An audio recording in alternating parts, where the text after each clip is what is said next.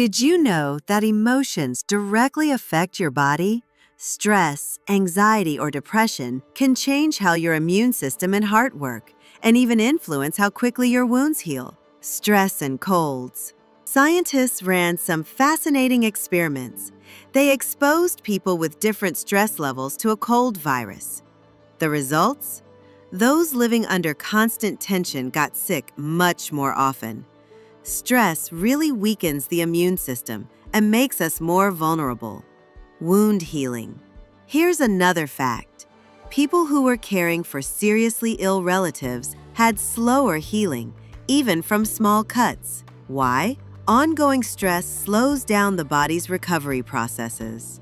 The heart and emotions. Depression and anxiety increase the risk of heart disease. For example, after a heart attack, patients with depression recovered worse. But when depression was treated with psychotherapy, the risk of new heart problems dropped. Quick note, we'll leave links to all the research in the description below. There, you'll also find a link to the Paramed online store with reliable blood pressure monitors and stethoscopes. Let's continue. The gut and emotions. Have you heard of irritable bowel syndrome? It's when the stomach hurts for no clear medical reason. In these cases, psychological therapy, even without medication, can ease pain and discomfort. This proves once again that the brain and the body work as one system. The power of placebo and nocebo. Here's something incredible.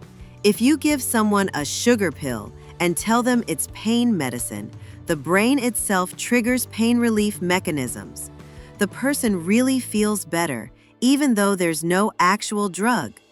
On the flip side, with the nocebo effect, if you say a pill causes side effects, people may feel them even if they only took a vitamin.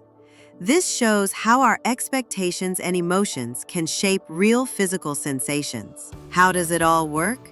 When we experience stress or strong emotions, hormones like cortisol and adrenaline rise in the blood, they're useful for escaping danger, but if this state continues too long, the immune system weakens, blood vessels suffer, and inflammation increases.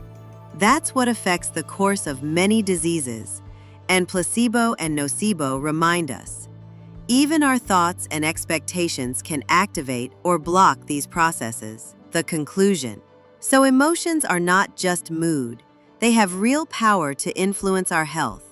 And if you catch any virus, don't stress out about it. Don't give the illness that advantage. Taking care of mental well-being is not a luxury. It's part of disease prevention. Good sleep, physical activity, meditation, connecting with loved ones, or therapy, all of this helps you feel better emotionally and keeps your body healthier too. Subscribe to our channel for more useful health videos. Take care of yourself.